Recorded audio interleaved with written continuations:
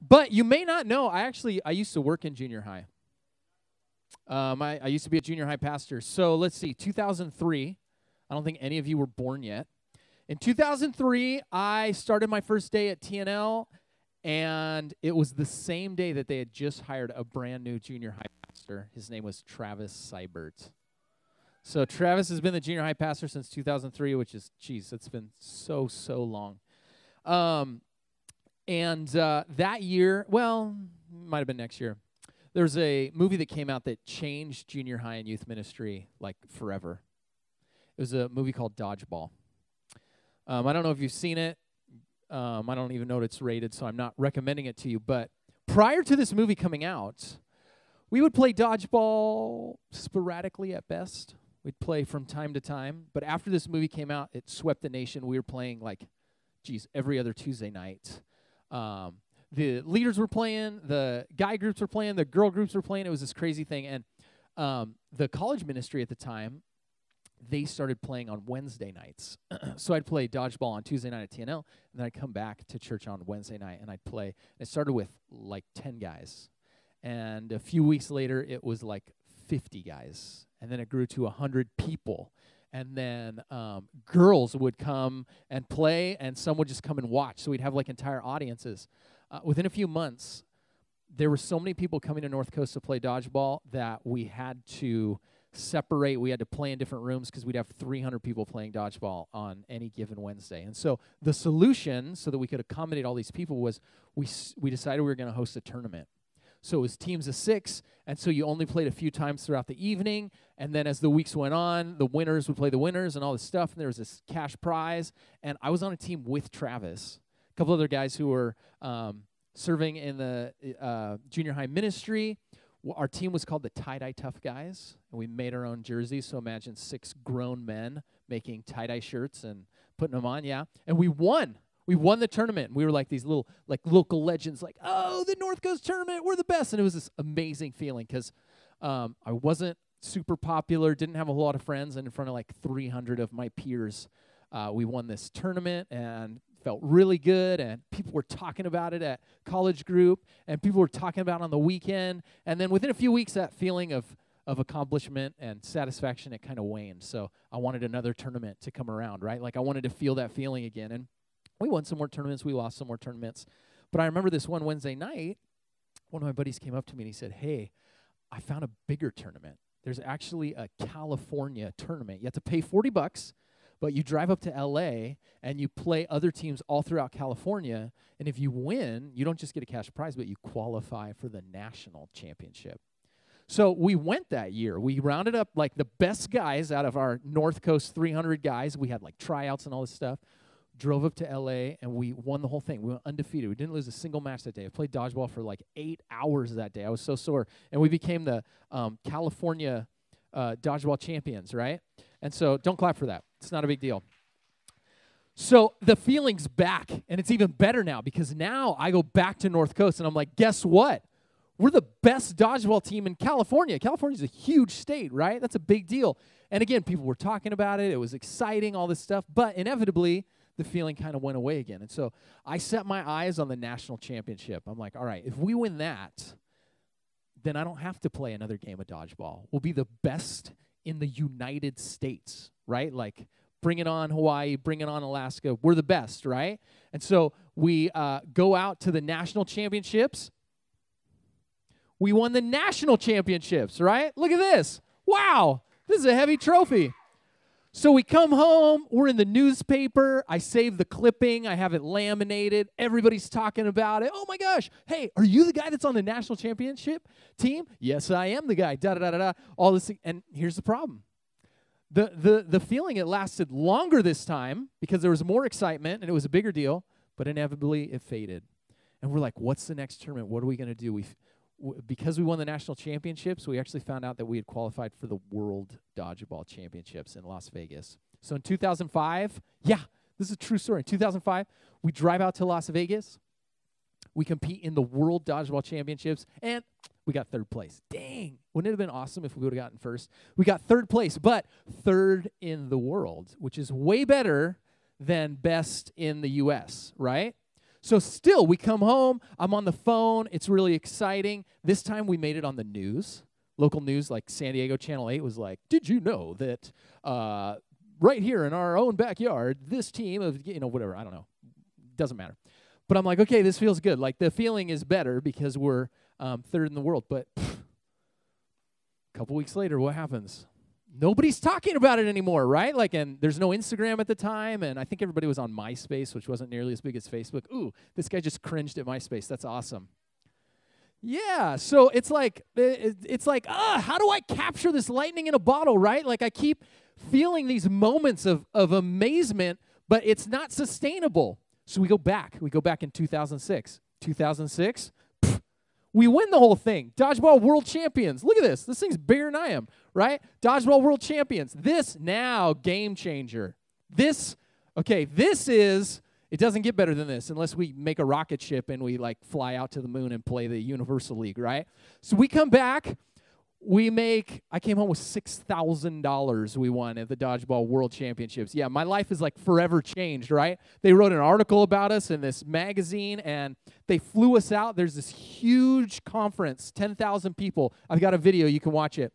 They, they fly us out to alabama because they found out that the dodgeball world champions all attended north coast church. So we go out to this um, conference. It's called the catalyst conference um, and they have us, the six of us, the world champions, they have us play. You'll see in a second. We played against the entire audience, which is 10,000 people. So this is us. We lose pretty bad. You'll see. We're about to get destroyed by um, 10,000 dodgeballs in just a second. So they fly us out there. Um, we're, we're like, the, the celebrity status at this point, it's not like local anymore. Yeah, look at it, bad news. Woo! There we are. So this is, I think, this is 2006, uh, and we're the champs. That's me. I just threw the ball. I'm about to like trip or something. Anyways, you can cut it. Um, I don't know. I was like 21, 22 years old at the time, and I come back and um, like I think my life has changed forever. So I'm not even I'm not even like at North Coast. We're running these tours. We're going to different churches and we're talking about how God has worked in our lives and how we want to give God the glory and all this stuff. And like, it doesn't get bigger than this, right? And so the feeling, it doesn't go away this time. It doesn't just last days. It doesn't just last weeks. It, it goes for months. You know, people are still talking about, oh my gosh, you're a dodgeball world champion. But inevitably, we, we won in August. By the time December hits, I'm like, what's next? So we go back in 2007. Uh, we won the co-ed tournament, but we, we got like fourth place in the world championships. We go back in 2008. We win again. Two-time dodgeball world champions, right? Like I have to keep chasing this feeling. And um, in 2008, I was dating this girl who's now my wife, and I was so excited to come home and tell her because um, we were in a great relationship, and I thought, okay, she'll understand. She'll be the one that respects all this hard work and she'll be the one that can kind of help me perpetuate this feeling. And i come back and i go babe we won. We're two-time dodgeball world champions. And i was expecting her jaw to just hit the floor and be like oh my gosh! And she goes cool. And that's when i just realized i would have to win this tournament every year for the rest of my life in order for me to sustain this feeling.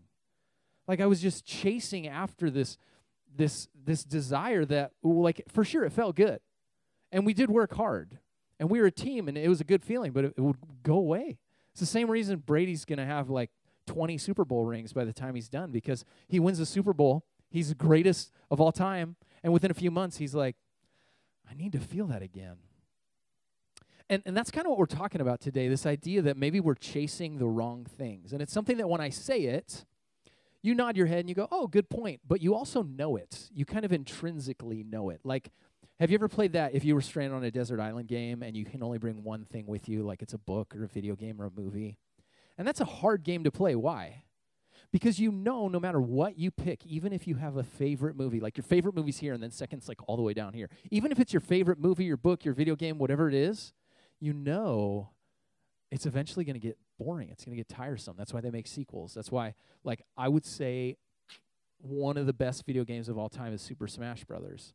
But I bought the first copy in 1997 before any of you even existed. Why did they need to make another copy?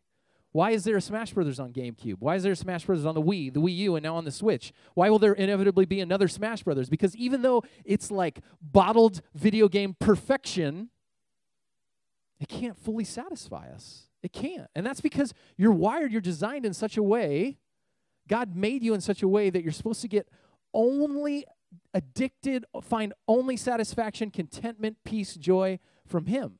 There's like this God shaped hole in our hearts. And we go out and we start chasing after other things that inevitably, like, I, I'm not even kidding you.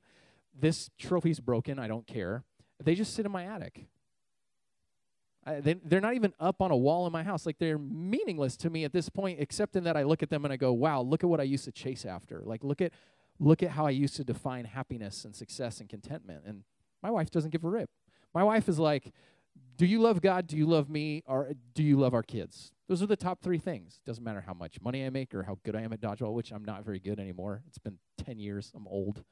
I get really tired really easily, right?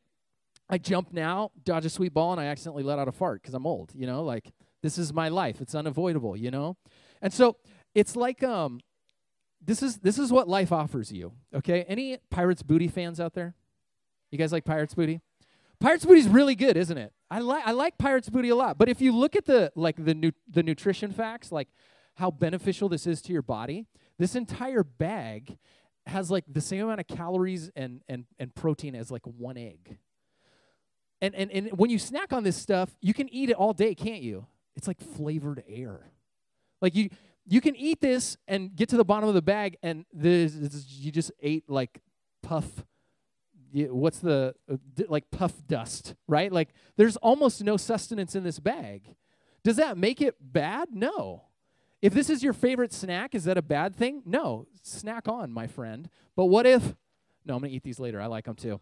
What if Maybe I'll give them away. We'll see. We'll see how how we'll see how well behaved you are. But if you told me, you know what? I love Pirates Booty so much that I'm actually only going to eat it from now on. So instead of having like a well balanced meal for breakfast, lunch, or dinner, you say, I'm just going to eat Pirates Booty.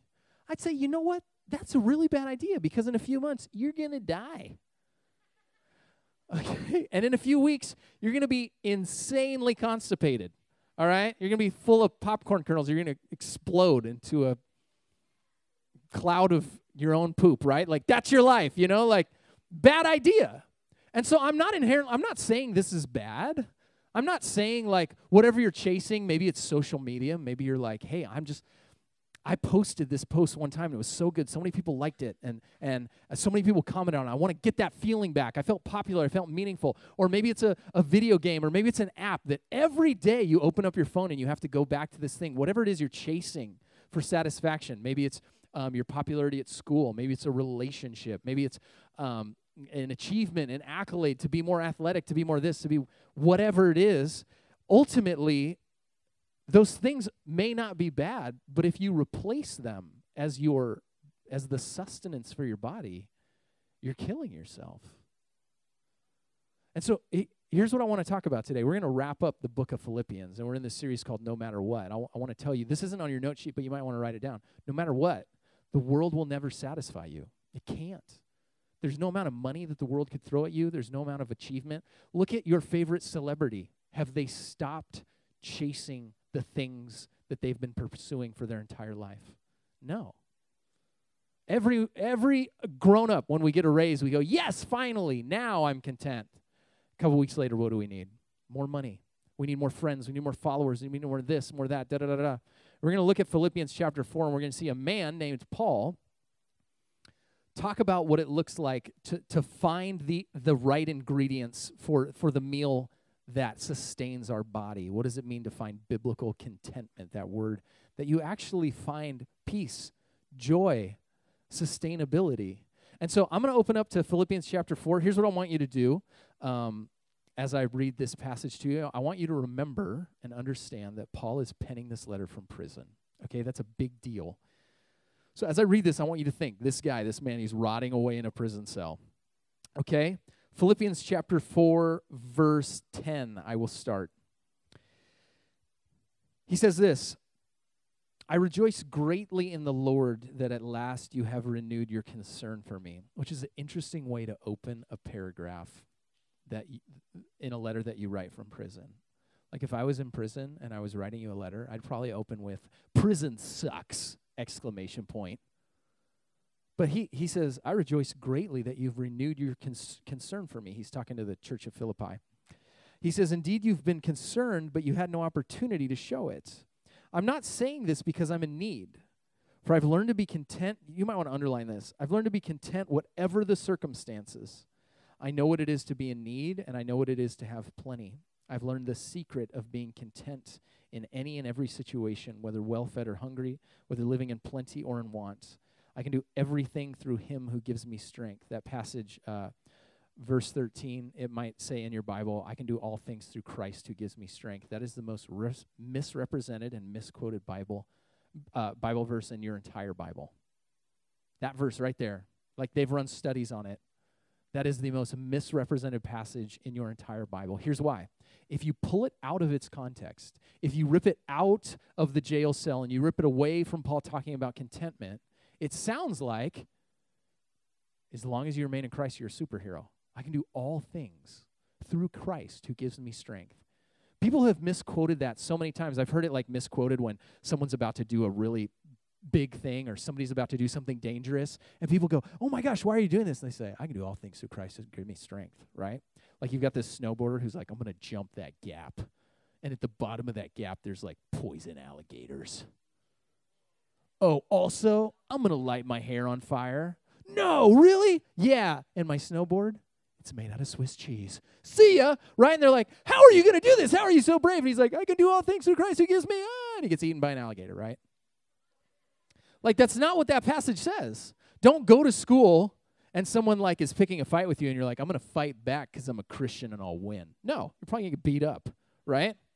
No, bad idea. Okay? This passage, Paul's saying this. He's like, I'm in prison. And he says, Hey, I appreciate the church of Philippi that they're looking out for me and they're concerned for me. Uh, but I don't need to be dictated by what they bless me with because I've learned how to respond when life is good, and I've learned how to respond when life stinks. In other words, he's saying, I was a Pharisee, I was rich, I had it all. Paul had a really good life. And he was not swayed by his riches. He was a good steward of those things. He knew how to handle those things well. He didn't become addicted to those things. He didn't fall to those things. He didn't he didn't pursue those things in an unhealthy way. And then he says, "And now I'm in prison, in total poverty. All those things have been taken away." And I could complain, I could be upset, I could throw in the towel. And he says, "But that also does not have to, to dictate how my life goes." And so, what I love about Paul, we're going to see he's actually kind of bulletproofing his life. Like he's creating a situation where no matter what life throws at him, he says, You can only hurt me so much because I have found contentment. I'm invincible to what the world throws at me. So here's what I want to do with the rest of our time, and we'll go quickly. I know you have a lot of fill ins. Uh, I want to talk about what it isn't. Biblical contentment, I want to talk about what it is, and I want to talk about how to find it because I was 25 when I won this stupid trophy. 25 years old when I started to realize w- what really mattered in life and how I needed to pursue things, right? Well, you're significantly younger than that. If you can figure this out now, you'll be far and above, w- way ahead of me as far as spiritual maturity goes. So, number one uh, on your fill in biblical contentment is not happiness.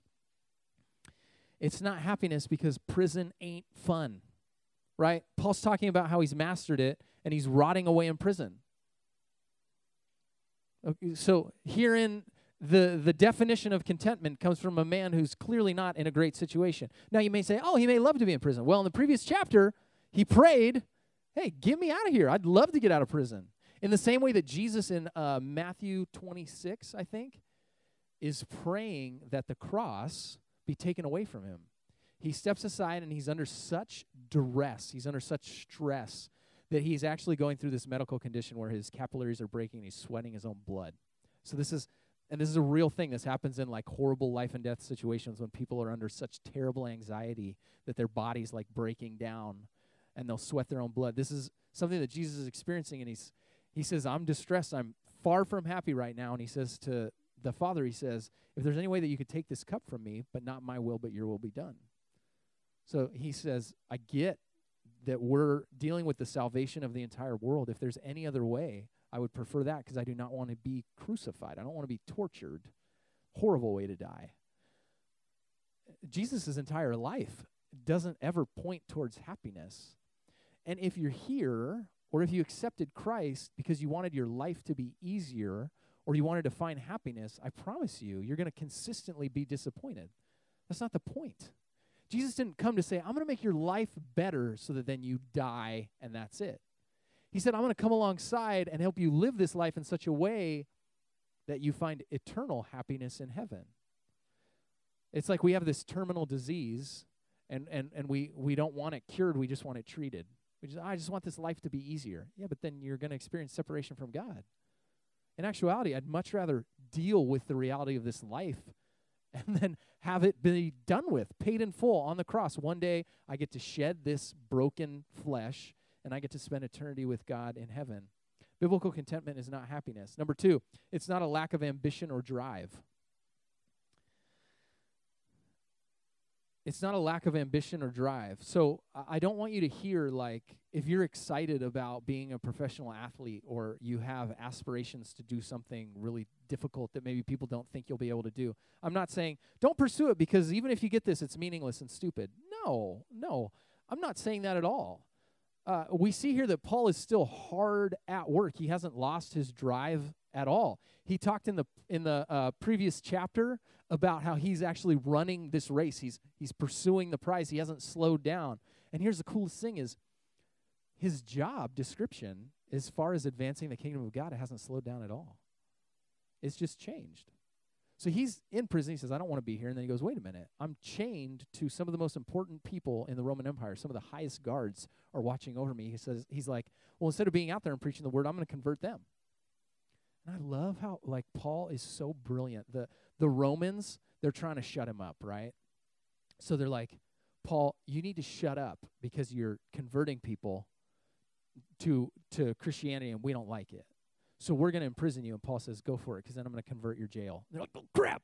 Well, then, Paul, we're going to kill you. And he's like, go go for it. I'll go to heaven. Like, ah, ah, ah, well, then we'll let you go, bozo. And he's like, fine, I'll keep preaching the word. Like, to live as Christ, to die as gain. And, and that's what, like, if you can find that in junior high, oh my gosh, that's my desire for you. That that life would just bear down on you and you'd be like, life, what go for it. You want to hand me this? God's good. You want to bless me with this? God's still good. You want to fulfill all my, my dreams? Great. God's so good.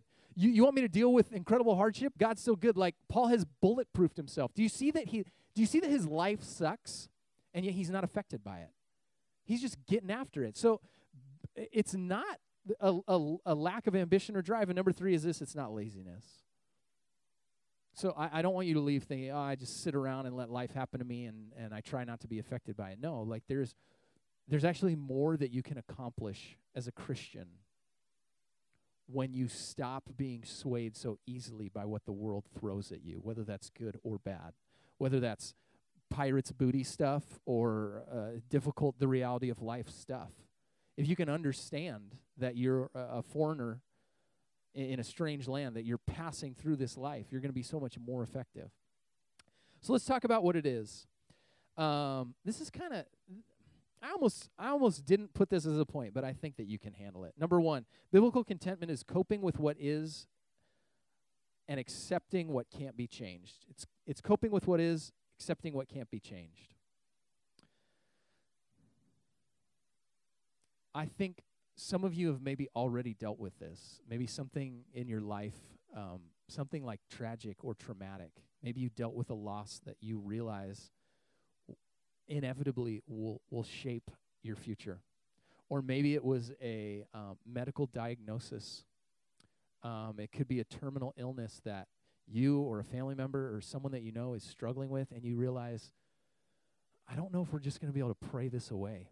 And I don't know if we're going to be able to just pretend this this isn't happening. In the same way that Jesus is in the Garden of Gethsemane and he's saying, "Yeah, I think this one is unavoidable, so I'm going to throw it up there, but but God's will be be done." And so, it's this idea that that to a certain extent, maturity is understanding. Hey, some of this stuff isn't going to change. There's not much much that that we can do about it. Um, when I was your age, I'm not. I won't get emotional, but um, I was severely bullied as a seventh grader. It was horrible. Um, knife to my neck type stuff. Uh, death threats. I did this kid's homework for a year because um, his older brother was in a gang and they threatened to beat me up and kill me. And it was horrible, guys. Like, I remember my friends would say, Oh, why are you doing Kevin's homework? And so I'd lie to my friends, Oh, he's paying me because I was so embarrassed and ashamed that I was doing this. Um, and my mom found it one time, and, you know, I, l- I had to lie to my mom about what was going on. Jeez, it was horrible. And I remember I just wanted to be bigger and tougher and stronger, and I've never been a big guy. Like uh, in high school, I was 4'11, I weighed 85 pounds, I was on the football team. Woo! Yeah! I'm 5'8 and a half on a good day, right? Like, and there's so much that I I wanted to change, and I it's just it was life. It was the reality of things. Now there's a lot in that situation that I could have changed that we'll talk about in a minute, but some of this is just understanding that um, life is hard, and uh, God never promises that He's going to fix it all. He promises that He's going to be with us through it all. Number two, it's learned, not acquired. And this is a principle that can be applied to so much of what the Bible has to say. Because when we read a passage or we hear about a Bible hero, we go, well, that's not me. Or you're like, Kirk, you don't understand. I'm, I'm addicted to this app on my phone, or I'm addicted to this unhealthy relationship, or I can't stop looking at myself in the mirror. I'm constantly trying to make myself more attractive. I'm constantly make myself more athletic, whatever it is I'm chasing after. Like I have fully, I'm, I'm, I'm fully relying on this to sustain me, and I, I can't get away. And I want to tell you, anytime the Bible asks us to do something, it's something that we can practice and something that we can master. So don't think for a second that this is, oh, a spiritual gift that some people have and some people don't. Paul says, I have learned how to be content. And I would challenge you uh, maybe what you need to do is you need to take a step of obedience and say, God, I, this is killing me in my pursuit of this. I'm getting exhausted chasing after this pirate's booty thing. And I just need to trust that if I remove it, you're going to replace it with something better. And number three is this it's putting our hope in heaven, our trust in God, and our eyes on the cross. Um, what I mean by that is if you put your hope in heaven and you realize that the finish line is not here on this earth, but it's getting to the end of this life, it makes coping with all these things a lot easier, right? Like when I can see that one day every tear is going to be wiped away and every right is going to be made wrong, and, and justice and mercy will reign in, in perfection, and I'm going to shed my sinful nature, well, then it makes it a lot easier to see a light at the end of the tunnel when I have a really, really, really bad day. Um, so, so let's close by talking about how do we get this? Wh- what does it look like? What does it look like in junior high? What does it look like for a grown up? How do we get it and keep it? Number one, change what you can and accept what you can't. So, the last thing that I would want you to do is to go home to your parents and say, uh, Man, we heard this really awesome message today from this guy who's super funny and super good looking. His hair is great. He's got wonderful fashion sense. Um, but he told me that if I'm getting bullied at school or if I'm dealing with something really hard, that I just need to accept it. I just need to learn to cope with it. No way. I made a huge mistake in not addressing that I was getting bullied because there were countless people in my life at that time that could have fixed that. And I'm very passionate today about people who get bullied. And if you're getting bullied, talk to me, talk to Garrett, talk to your small group leader, talk to a parent. That's wrong, and that's something that you can immediately change. Okay? So so think about the things in your life that you're suffering from that you have so much power to fix. Think about what's on your phone that's just eating away at your life. It's taking so much time away from your critical thinking. It's taking time away from your healthy relationships. It's taking time away from your relationship with God. It's taking time away from all these wonderful things. And it's killing you. And you're addicted to it and you keep chasing it. And you say, I need more of it and more of it and more of it and more of it. And all you have to do is delete that app from your phone. And you know that you have that power. You're just afraid. So realize there's plenty that you can change and the things that you can't. Your height, your weight, your family situation. There's things that you can't deal with. You just need to get into the scriptures, man. I mean, there's so many responses to those things, and learning that God made you the way that He made you, and He put you in a situation that He put you in, and learning to cope with it, which which brings us uh, to the next one: avoid your contentment killer. You know, there's um, there were uh, like specifically in high school, there were relationships that I had that weren't necessarily unhealthy, uh, man, after hanging out with these guys, I would just feel like a loser. Like I just couldn't hang with them, or I'd compare myself to them, or, you know, th- they had this and I didn't have this. And if that's you, if you find yourself in situations where you're constantly comparing yourself to something or someone, limit it, right? Like, don't give in to those things. Or if there's something that you're totally addicted to that you keep chasing, get rid of it. Like, avoid the things that are killing you. You don't need to go off to someone else and say, hey, you should also get rid of this. Maybe they're not addicted to it. But you need to avoid the things that are killing you. I remember um, there was this game that came out a long time ago called World of Warcraft. And a bunch of us at church were playing it, and I got so addicted to that game. Oh my gosh.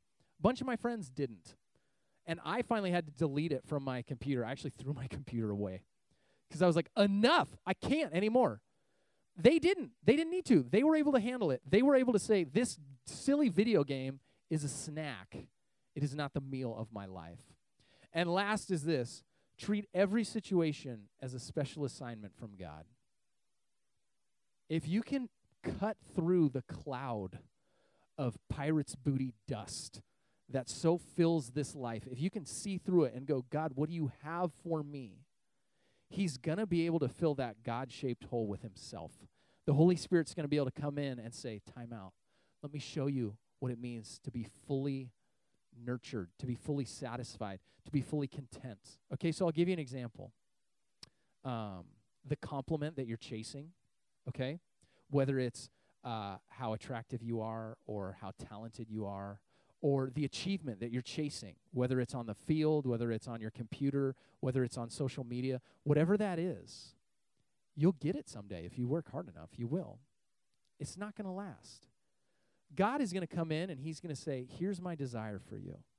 I want you to have an impact on your campus. I want you to make a difference in the lives of uh, people who are older than you. I want you to influence your teachers, your friends, whatever it is. My challenge for you would be this as soon as possible, pray this prayer to God. If you're brave, you can pray it quietly to yourself right now. God, how can I bring glory to you today? That right there is the heart of contentment and satisfaction. Because God's going to come in and God is going to say, You know what I want you to do right now? I want you to put your phone away because it's not going to satisfy you. Getting to the next level or beating the next level, whatever it is, it's not going to cut it. I want you to go home and I want you to respect your parents.